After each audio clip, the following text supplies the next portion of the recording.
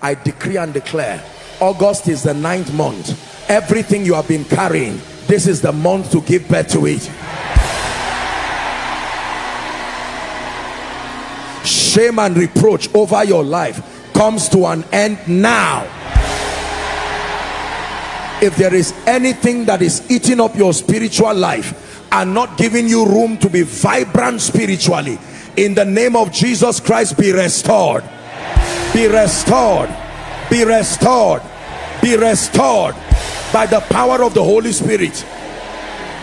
Hear me. Everything that has left heaven but the devil has not allowed it to come to your life. By the power that raised Christ from the dead I stand as a prophetic midwife and I push it to find manifestation in your life. In the name of Jesus every church here represented every business every firm every organization step into a new season of exploits. You shall not go down in Jesus name.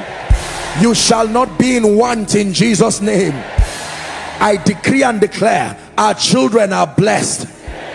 In the mighty name of Jesus Christ. No one here will have a cause to bury your loved one as you drive on the road you are protected. As you fly in the air you are protected. As you move by sea you are protected. No evil will see you. In the name of Jesus Christ. For those who are trusting God for manifestations of financial favor I release my faith and I agree with you. This week beginning experience strange favor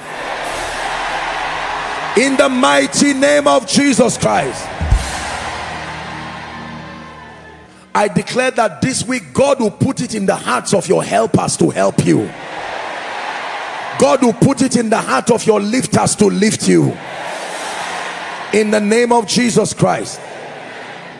Finally let me pray for you. The mantle of honor that compels for influence and loyalty. In the name of Jesus may that grace rest upon you you are blessed in the name of Jesus Christ